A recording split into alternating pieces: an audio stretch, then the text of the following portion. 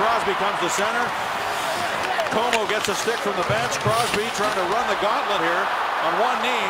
And the fans thought there should have been a penalty. Nothing called.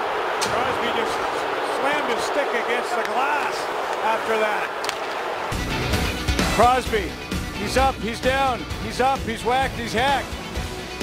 And he's not happy either.